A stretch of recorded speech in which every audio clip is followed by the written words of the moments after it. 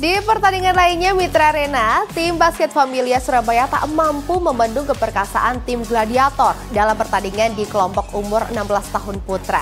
Dalam pertandingan ini, Gladiator menggilas Familia dengan skor telak 6-8-45.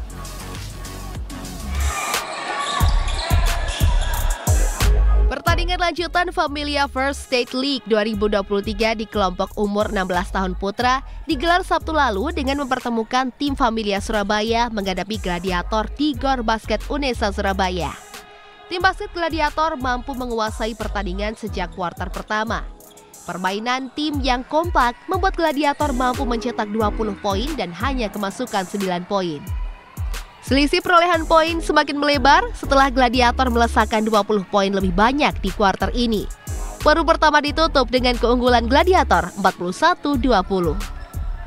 Baru kedua, permainan kedua tim tidak banyak mengalami perubahan.